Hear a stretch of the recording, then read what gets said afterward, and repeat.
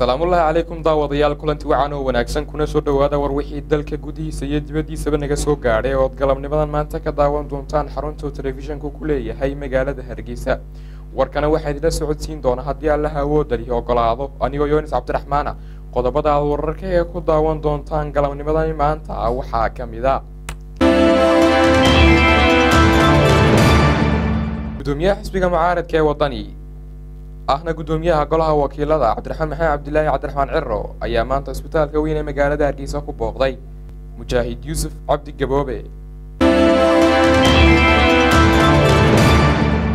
Jimciyadda ummadal khayri ayaa deeqa biyaa gaadhsiisay tuulada abaarso ee galbeedka magaalada hargeysa weli daawadayaal waxaynu ku guda jirnaa dhanka abaaraha ee jimciyadda najax foundation ayaa deeqa raashina gaadhsiisay degmada garaadag ee gobolkaasi sanaag.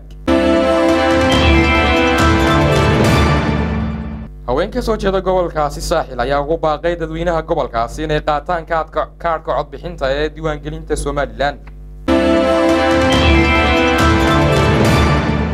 sidoo kale daawadayaal waxaanu warbixin idinka haynaa warar la xidhiidha dhinaca ammaanka ee magaalada burco iyo sidoo kale shubanbiyoodka iyo xaaladii ugu dambeeyey ee gobolkaasi togdheer. Daawadayaal intaasi waa qodobadii warkoo kooban. Hase ahaatee intaynaan faahfaahinta qodobadaasi u gelin. Ku soo dhowaada qadar xayeysiisa